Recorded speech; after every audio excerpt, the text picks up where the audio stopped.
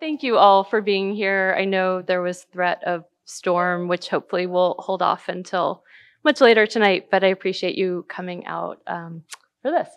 So, okay, so um, I was asked to reflect on the practice of abstract painting as it is championed by such practitioners as Rebecca Morris and others today. And I happily agreed supplying the title that you see here on abstract painting as a placeholder. So as one does, I conjured it far in advance of tonight, so also long before seeing the show, and I meant it to be appropriately non-committal as to allow for whatever came to seem right given what appeared on the walls. I intended the on of the title to mean about, and what I will share is still about contemporary abstraction generally and how Rebecca manages it more specifically. But on also indicates something resting atop something else or being held by it. And I'll put up one painting here so you can have this to look at. It's more exciting than the title by a lot.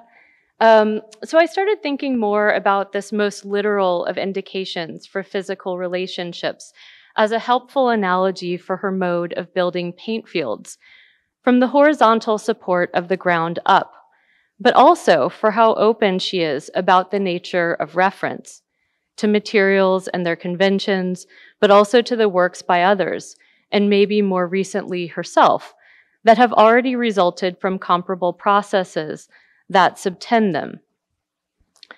Paula van den Bosch has written of her accumulating tools and technical facility, quote, Morris, with complete confidence in her medium, leaves her own deep trace within the material and technical aspects of painting. She employs every technical trick, playing with paint, brushing, pouring, rubbing, spraying, and laying it like bricks onto the canvas. She also makes skillful use of the properties of the materials, the inconsistencies in texture, the range of drying times, transparency versus opacity, and color tonality in different types of paint. So I liked this very much um, and wanted to kind of have it here hanging in the air.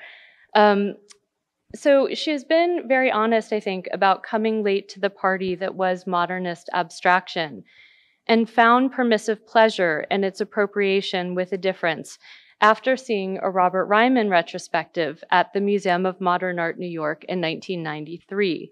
And I'll come back to this in a bit. But I guess I'll say for now, um, and I wrote this down because I was traveling for the last couple weeks and I just didn't trust myself to be coherent without a script. Um, so forgive that I'm looking down and looking up, but I'm digressive enough that I will probably meander very far from what I'm holding. Um, but the the point that I'll say now about the Ryman, and we'll we'll come back to him, um, is that I think it's such an interesting origin story for so many reasons, not least of which what I take to be Ryman's fundamental proposal about the possibilities of a radically reduced set of means and the kind of infinite possibilities that can be gleaned even from what seems to be a very reduced set of options.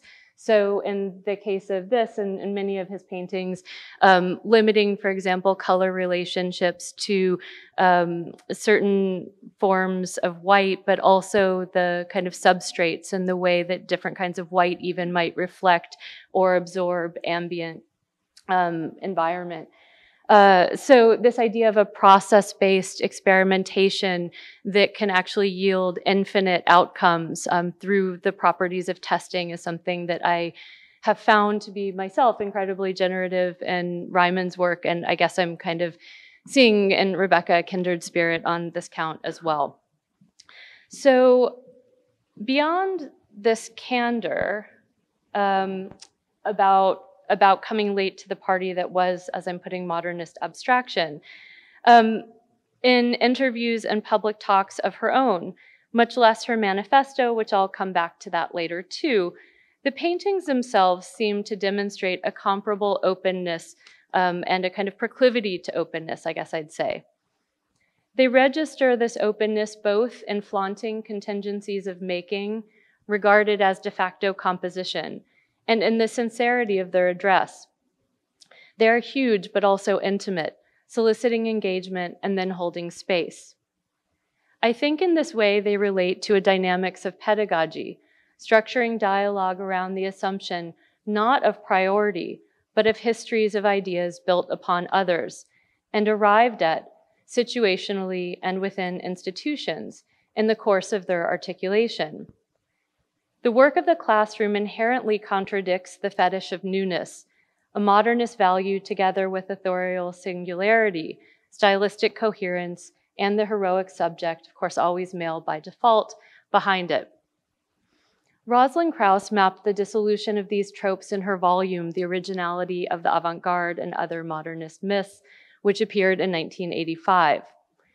Against the sui generis artwork was posed an art of proliferating reference and an active critique. Although anathema to Krauss, for Linda Nochlin, Lucy Lippard, Griselda Pollock, and others, these art historical shifts owed much to feminist interferences in a normalizing masculinist discourse. With sources clear, the point in these artistic strategies of appropriation becomes the act of recontextualization, not the creation of an artwork without precedent. This is a reflexive, if no longer medium specific commentary on the nature of art, its internal and self replicating connection to media, representations, museums, and markets. And I'll put this up. So, as Sherrie Levine posed, the world is filled to suffocating. Man has placed his token on every stone. Every word, every image is leased and mortgaged. We know that a picture is a space in which a variety of images, none of them original, bend and clash. We can only imitate a gesture that is always anterior, never original. And so what I'm showing you, um, behind me, sorry, um, that she did a little bit after the photo-based work that she's better known for um, is work that involves modernist abstraction in some instances through specific artists, as you can see here with the Mondrian, um, but also as a kind of generic decorative scheme, as you see with the, the grid on the right. So I mean by showing you this to indicate too how the legacy of conceptualism has prompted painting-based appropriation from the 1980s on, often not of specific images, although sometimes, um, as you can see here, that too, um, but also of ideas of period style much more broadly.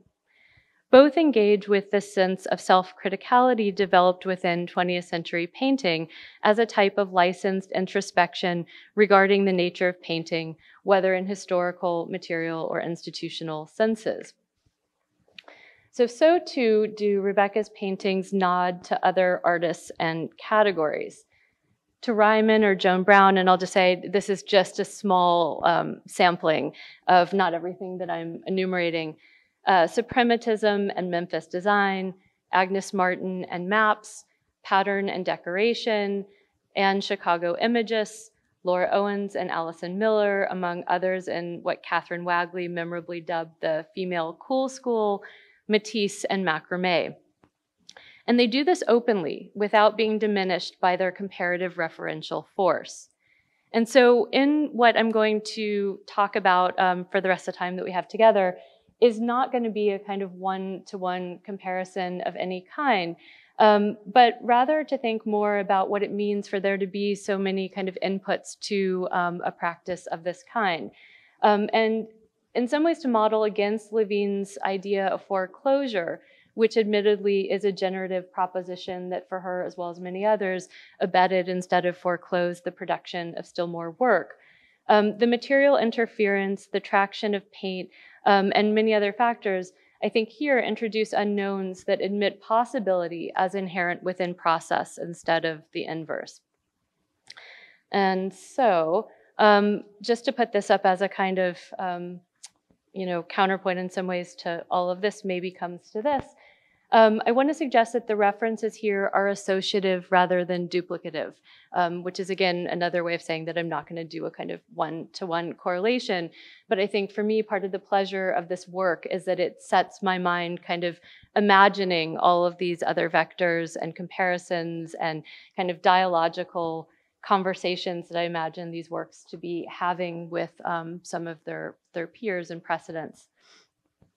Um, so I want to offer some thoughts about this work relative to um, that of other artists, stressing as I already am the structuring of abstraction as something capable of picturing the necessary multiplicity of relationships as something like a nominal subject.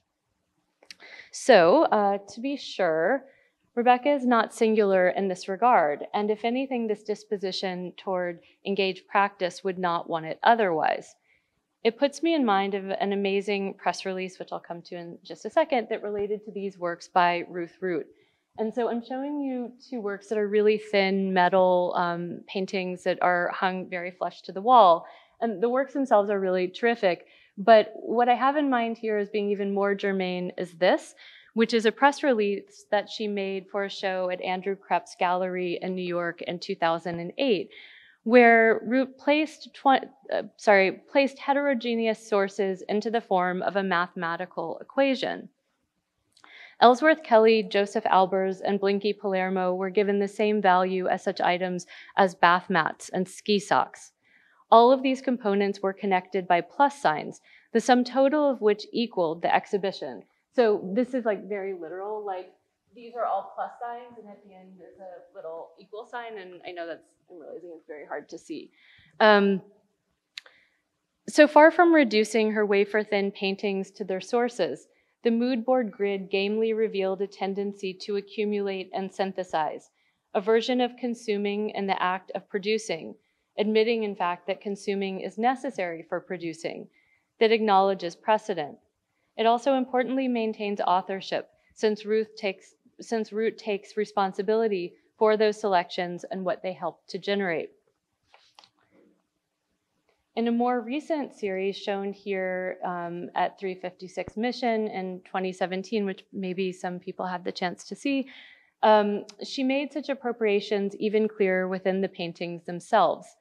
Each work has two discrete but interlocking physical sections, one of pattern fabric of the artist's own design, as you can see at the top, uh, pulled taut over softly sweating, softly, I can't talk tonight, sorry, um, over um, softly swelling um, batting, and the other painted plexiglass, which hangs from the first like a giant earring from a lobe or attaches to it in some other manner of dependency. The fabric is a sort of digital sampler, comprising portraits of Ruth Bader Ginsburg, textile fragments from Sonia Delaunay, the sharp geometry of a security envelope design, a pizza slice, and icons of Ruth's own art, and what becomes a miniature retrospective. And so I guess I'm, I'm using this in some ways to kind of think about the structure of appropriative communion and how it maintains kind of visibility or pressures the work even when it remains very squarely um, outside of its frame too.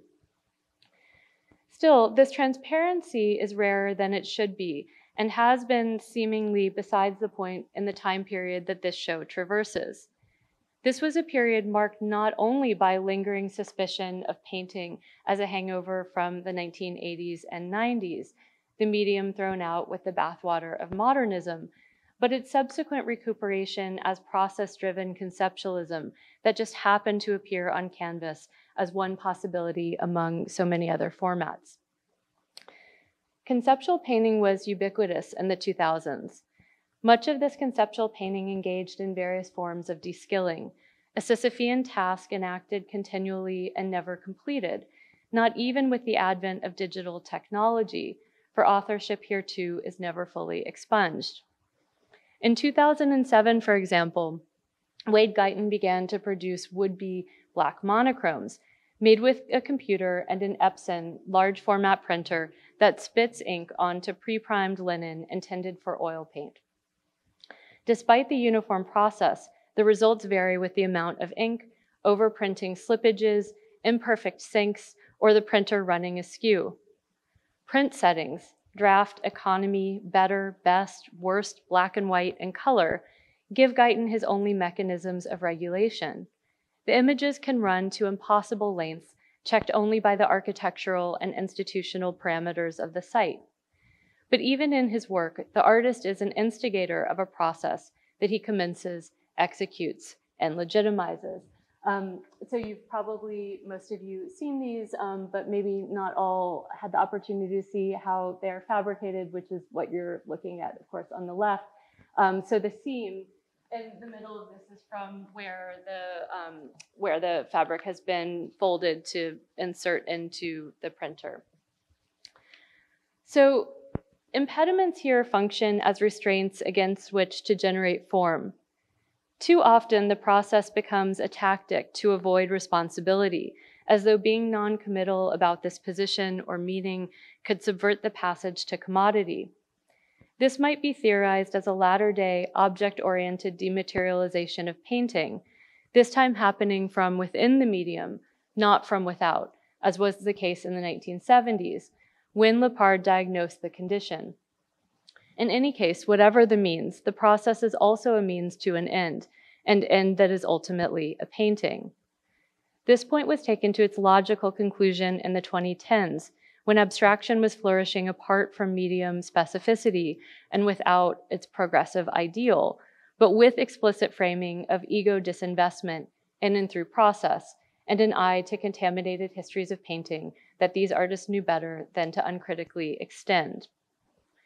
A subset of abstract work that is conceptual in this vein ironically came to appear so absent of meaning as to return painting to 1980s like debates around the empty commodity.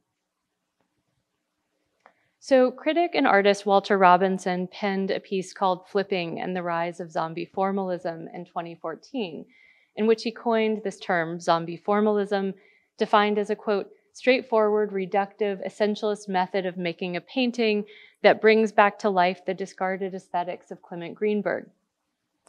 When Jerry Saltz entered the discussion with zombies on the wall, why does so much abstraction look the same?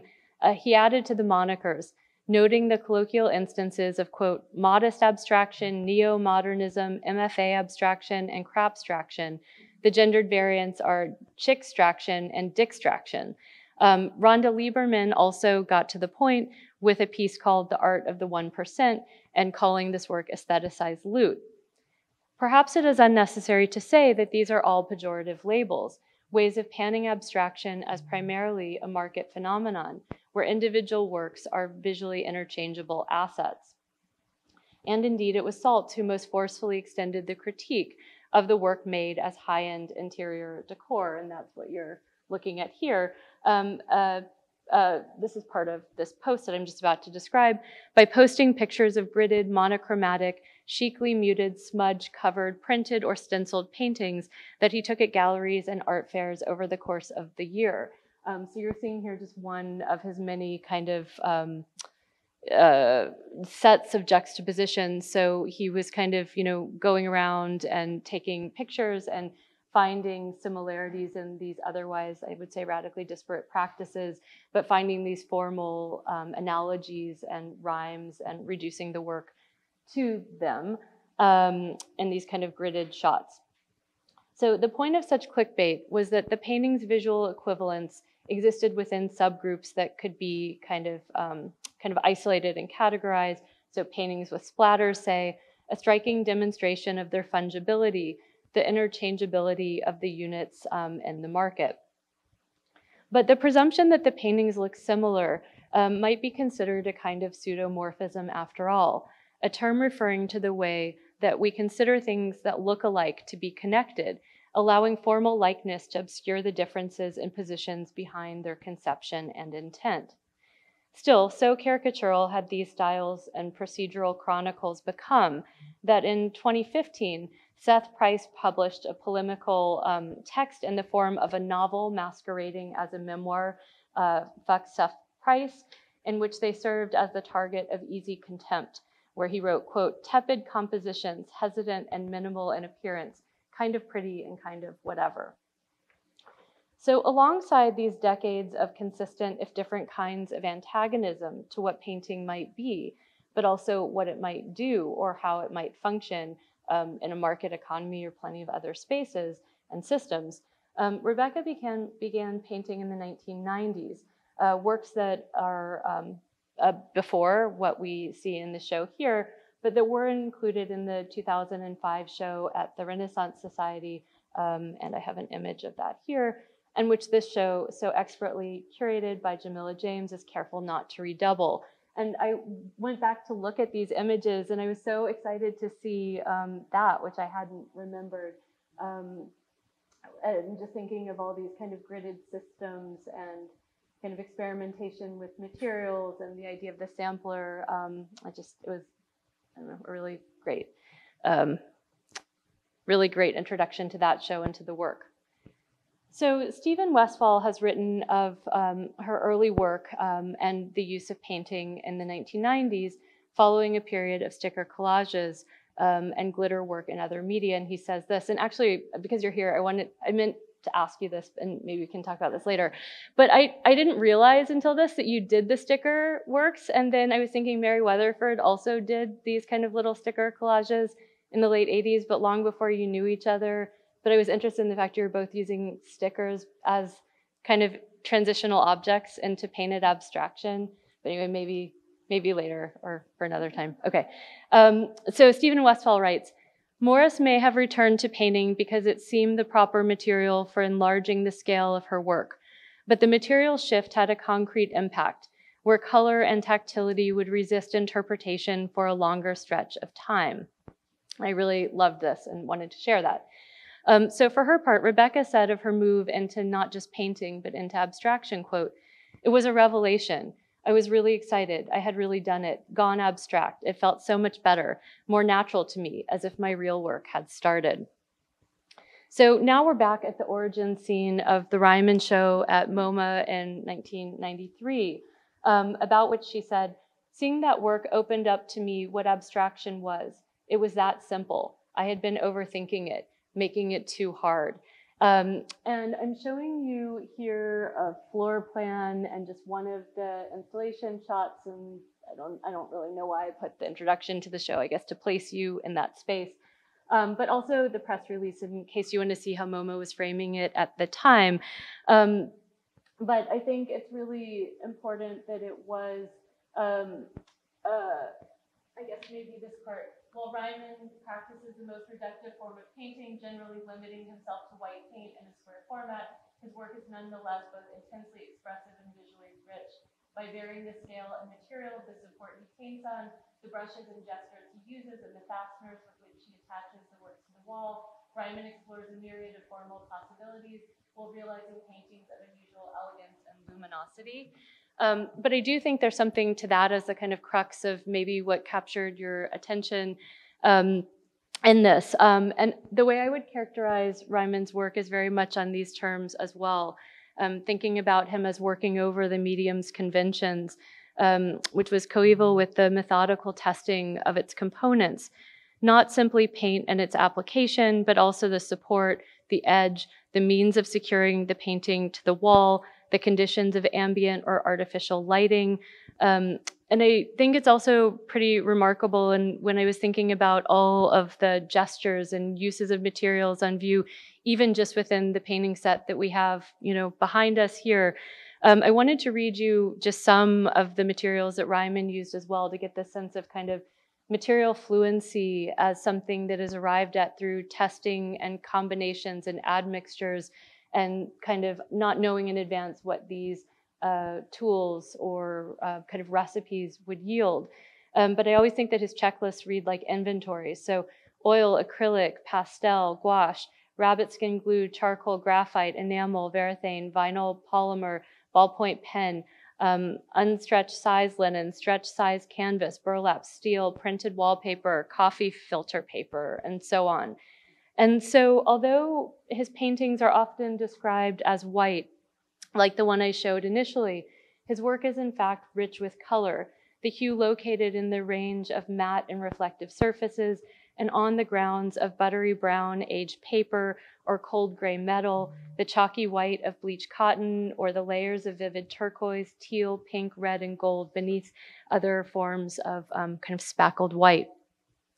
I would say that he made more out of his supplies than anyone else in the past century, coaxing compositional elements from exposed nails, strips of tape, and all manner of fasteners. Reflexivity about every facet of painting remained primary. And I wanted to show you just a couple more that I thought were really kind of resonant with, with again, I'm like I don't know. I think I'm really sleep deprived. I can't talk. I can't point. Um, thank you for your generosity in the face of all this tonight. Um, but this is one of my favorites, and it, it I think is resonant here. Um, it's a piece that's at Dia Beacon. If any of you have had the opportunity to see that permanent installation there, I guess quasi-permanent, and it's a very very small work. So seeing it large is really kind of silly.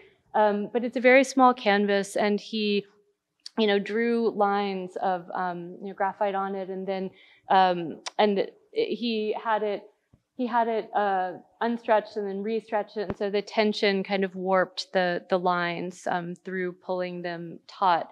So it's this idea of the force actually creating the surface, but also creating the composition in addition to the linear elements or what was put down on the ground. That it's the kind of active engagement materially that produces the composition. Um, but also in the same years, he was doing many that kind of apportioned pages or canvases in various ways, thinking about where the demarcation of a grid would go. Would it, as in this one, extend to the edge, or would it actually be contained within other elements that would share um, kind of compositional priority? Would one element carve out or make space for another? Would it cradle it? Would it supersede it? Um, and so I'm using language of relationships, and I see these as deeply kind of um, humanist propositions, actually. Um, the MoMA press release, I know, used this language of expressivity, and many of his works are incredibly facture laden still. Um, but I think even in the ones that are less so, they involve these kind of formal um, structural decisions that are really also decisions about care and placement and how items in the world exist um, in relation to others as they're kind of um, successively engaged. So, um, oh yeah, and this is another thing um, that I was thinking as I was putting all this together. He also was a musician initially, and this is, do I have time? Yes, okay, this will be a super quick digression.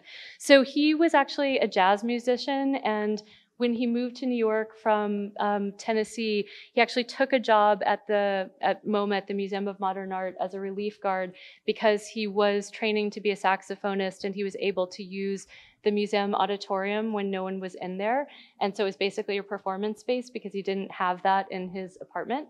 Um, but thinking about jazz and improvisation and also just his relation to music, even after he became um, a kind of as he considered to be absolutely like full-time visual artist. Um, but I was thinking about that with, you know, with music and um, your family history and thinking about this kind of relation of music to abstraction um, in a kind of modernist setting here too.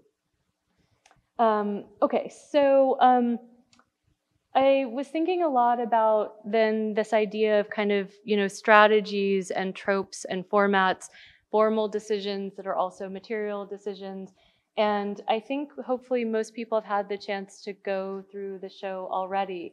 Um, but I really liked how it's set out in relation not to chronology, but to these kinds of formal strategies and thinking about the way that I think the work is kind of querying them, um, in some cases su successively, but also kind of layering um, and building recursively um, on them from work to work or even within a single work.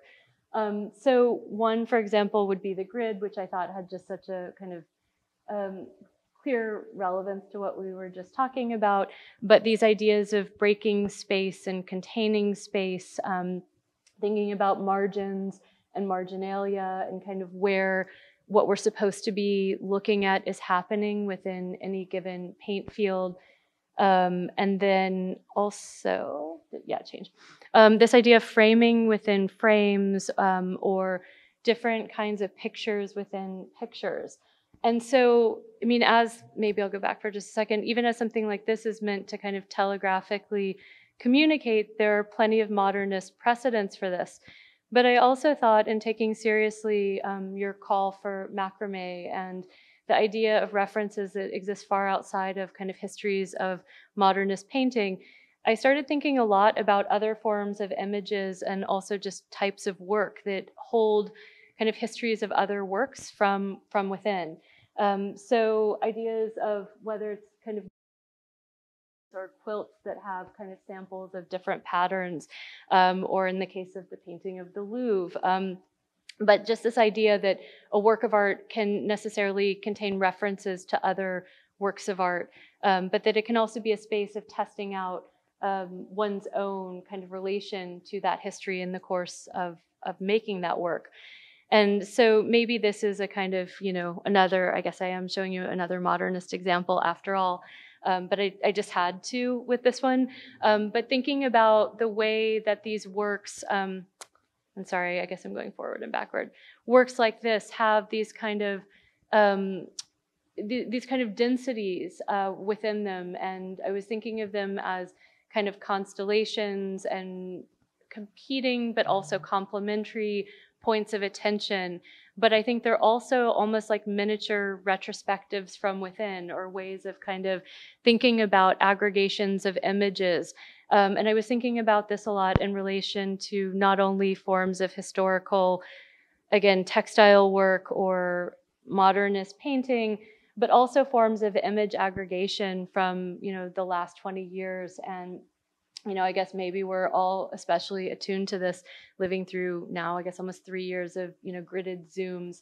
Um, but all forms of you know whether it's prezis or uh, pinterest boards or ideas of digital samplers of various kinds um, thinking about how these works in some ways are analogs to forms of kind of image archives and thinking about the relation of images always in relation to other images that I think is very much a kind of condition of the period that this show traverses. Um, and so how do we kind of image this for now? And I think it's it's that.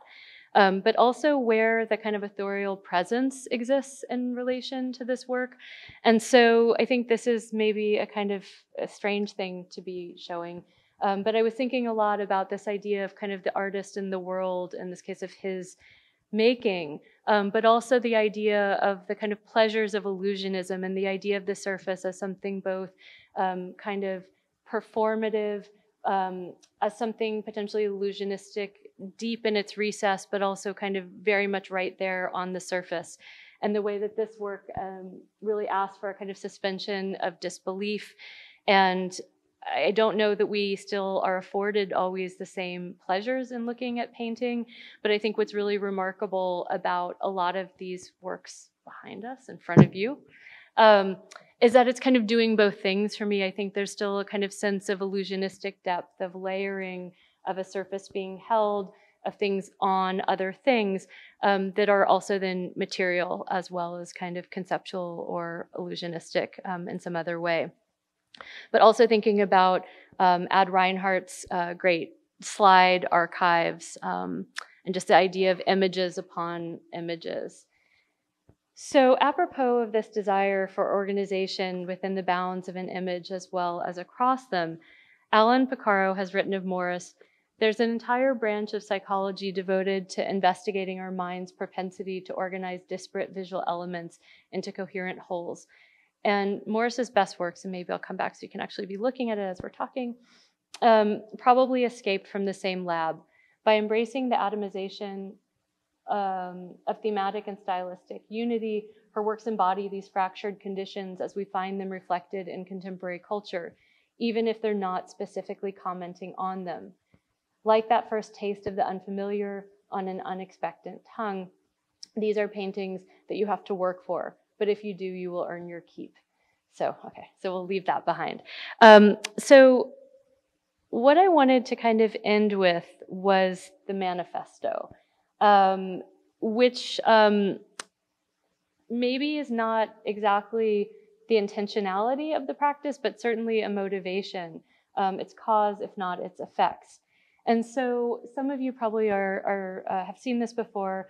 Um, it's the great manifesto for abstractionists and friends of the non-objective that was first read by Hamza Walker in, 20, in 2005 at the Renaissance Society during the exhibition talk for the Rebecca Morris paintings 96 to 2005 exhibition. And it was first published in the 2006 Artforum on the occasion um, of that uh, of a solo show um, at Gallery Barbara Weiss um, in 2006. And so the story that Rebecca has has told me, which I'll share and tell me if I'm getting it wrong, was that it was um, it was being kind of like circulated, and people were were tearing it out of um, uh, people were uh, it was first published in Artforum, and then um, people were tearing it out. So then you revisited the idea later um, as well.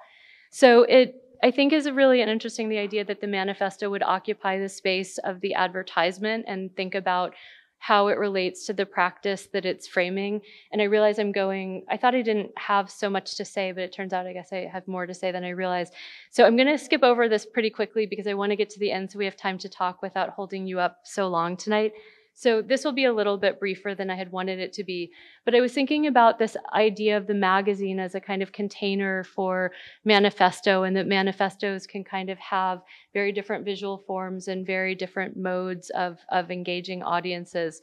So um, maybe not surprisingly for, for some people, maybe for others, um, this very much came to mind, which is the Lynda Benglis um, poster um, advertisement that she made um, that was also in, in Artforum in the December 1974 issue, which was at the time um, such a watershed that actually five editors denounced it as an object of extreme vulgarity, which brutalized both um, the editors and the readers. Um, but Benglis saw it very differently um, and thought it was the ultimate mockery of the pinup and the macho, um, and also the way that she was provoking um, the kind of positionality of the female artist within the art world of that moment. Um, but it also made me think about, oh, and I'm sorry, this is probably really hard to see. Um, just because we were talking about Ryman, he also did an Artforum ad in 1976, um, which was supposed to be actually for a show of his own, but it actually became an ad really for Artforum um, which I thought was this wonderfully weird kind of self-effacing gesture where he's basically telling people to buy the magazine instead of doing the kind of performative work for his own his own work. So to come back to this as a way to wrap up, um, I was interested in this um, and the way that it still is incredibly relevant now. Um, and I know you were asked in the opening conversation for the show whether there was the need to kind of update it, and there was this idea that no, it still functions perfectly well. And so I wanted to end by thinking about like how is this model relevant now, and how can abstraction um, embody and embed relations rather than self-enclosure? Uh, maybe we can say it was never really autonomous, but I think it's still a good moment to ask why that was the wish and what um, hopes that that fantasy fulfilled. And I guess I want us to think in the end too about a very different impulse in our own time. And so this is maybe a kind of strange segue to my, this is like my penultimate point. Um, so I've been really interested in the past few months about this kind of move in other industries to these ideas of transparency. So these are images from two New York Times pieces from the last couple months the one on the left is from What If You Could Read a Fashion Label Like a Food Label. So this is a, a an article that talked about transparency and traceability. They say it's all the rage when it comes to clothing, and it is finally reaching the tags on the racks. So the idea is that clothing might have labels that help consumers trace the creation of a garment tracking software for the garment, but also for authenticity in relation to counterfeit and the resale market, but also sustainable materials and humane labor practices. Um, and what you're looking at on the right is um, a kind of, a kind of, in my mind, related related piece um, that was actually about about Adam Pendleton and the way that Alexander McQueen, the fashion house, used his kind of visual rhetoric of graffiti to make their own clothes, which people immediately thought were Adams, but they were not. Um, and so it engendered this conversation around um, appropriation and reference. And I'm just going to read you um, a quote from, from this piece. So at issue is a confluence of factors, including fashion's own culture, which has long plundered history and references with impunity and fetishized creativity and newness. As a result, said Susan, Scafidi, the founder of the Fashion Law Institute at Fordham, it has created, quote, a fear that something is not valuable if it acknowledges its own imaginative antecedents. Increasingly, art schools, including Central St. Martin's and the Savannah College of Art and Design, are teaching students to effectively footnote their mood boards. And as the drive toward sustainability forces brands to trace their materials and supply chains and make that information transparent, there's no reason why they couldn't add creative DNA to the list. Quote, consumers love to know the story behind a product, said Dirk Standen, the dean of school of fashion at SCAD. Um, Ms. Scafidi agreed. We need to develop a culture of acknowledgement, she said. It would be great for the brand and good source, um, sorry, and good for the source and good for the consumer. So I wanted to think about a kind of bad definition of abstraction here, the action of taking something away unlawfully or dishonestly, stealing, theft, or embezzlement. Um, so if not that, where, where are we left? Um, and I wanted to end with this, um, this idea of the working archive, um, which is actually maybe not exactly back to the origin scene of MoMA um, and Ryman's exhibition in 93, but actually an evolving studio wall that he maintained for much of his working life, where he would take these tiny black and white photos of, you know, oftentimes largely white paintings that were essentially, you know, indecipherable at this scale and with this kind of impoverished form of, you know, photographic mediation. Um, but it points to the fact that this work was ongoing. Um, and I think it's really important because it is essentially an expanding grid, lacking in visual incident by virtue of its scale and gray tones, and crucially indifferent to sequence and its assemblage. As Ryman proposed in 1969 and would assert thereafter, the basic problem was always what to do with paint. There was never a question of what to paint, he said, but only how to paint. And so when he was asked about this by Robert Storr, um, he asked him whether he believed that abstract painting requires a sense of overall historical or aesthetic direction. Ryman replied, quote, I don't know. I think maybe it doesn't. It does from time to time, and it does in small ways. There are problems that if you work on and there is an awareness of what has been done what others have worked on, and how they've approached painting and the solutions that they've come to. It isn't a blanket kind of historical thing that everyone is involved with, but I think that everyone has to take little bites, little pieces of it, and work on that. But I don't know that there's any big philosophy that encompasses it all. So I thought this was like a really um, moving statement when I read it many years ago and has informed a lot about how I've thought about abstraction, which is not to say that it doesn't have historical coordinates, um, but maybe there's not one version of abstraction, and maybe in fact it is much more contingent and situational than we've ever allowed it to be. Um, and I guess to end here where we are, um, in Morris's manifesto, I see coordinates, plans for work without stipulating outcome allowing for the contingency occasions like this offer and recalling the classroom reference with which I began, it remains, I think, despite or maybe exactly because of this, a manifesto for work, but not a manual. So I will end there.